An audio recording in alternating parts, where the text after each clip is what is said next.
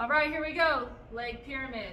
So, starting with reverse lunges.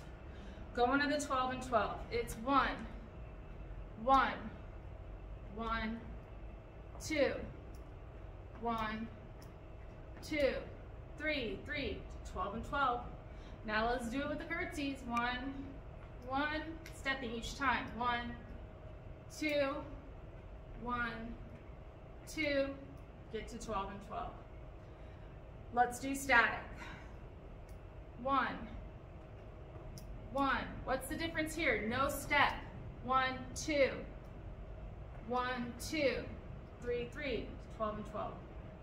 Curtsy, static, no step.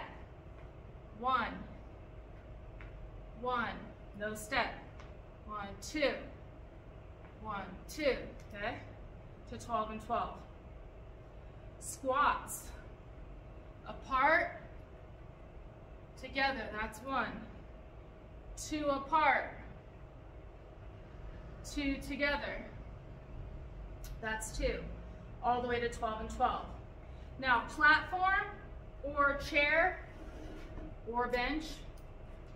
So I'm gonna do to the side here. So I'm gonna squat, then I'm gonna sit and stand. Then I'm gonna do two squats, two sit and stand, all the way, 12 and 12.